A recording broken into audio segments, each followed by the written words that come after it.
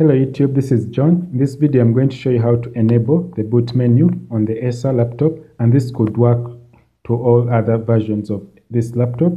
I'm going to I'm going to start the computer and I'll be pressing F12 to show you that this is not booting to it's not taking me to the boot menu.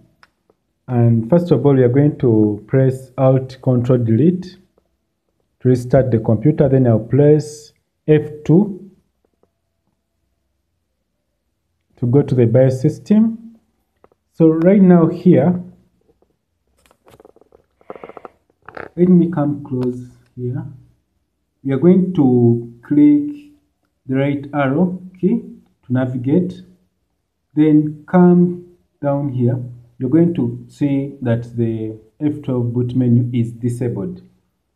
And you have to click enter then press the down arrow key then press enter. So to save these changes you have to click F10 then you say yes to restart. I'm going to be clicking F12 so that to take us to the boot menu. So here is my USB flash that I'm going to be using to install my windows.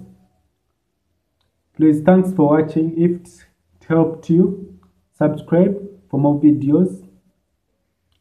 And like comment.